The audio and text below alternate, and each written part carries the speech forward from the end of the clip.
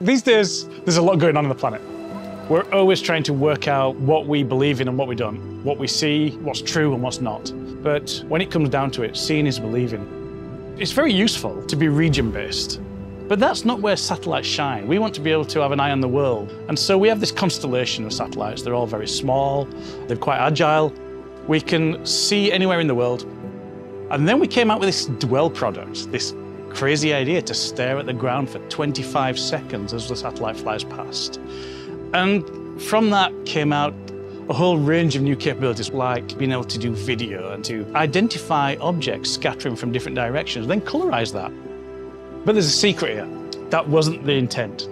The real issue was, how do we focus imagery for 25 centimeter resolution? Wouldn't it be great to make this a bit better? And that's where Dwell Precise comes in. For our standard Dwell product, we actually have a bandwidth which determines our resolution, which is 300 megahertz.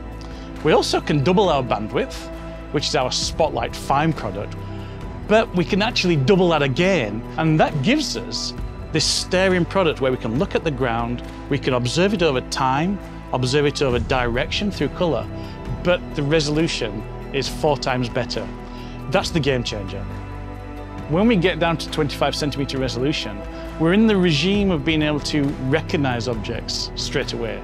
So as soon as a satellite flies over, we see this bright object on the battlefield or on the airfield, and we can very quickly characterize exactly what that is, which means that the military decision makers have suddenly got a forward pass. They can suddenly make a very quick decision about how to respond to what they're seeing, and it's quite unique, actually. We've always been passionate advocates for trying to make the world a safer place.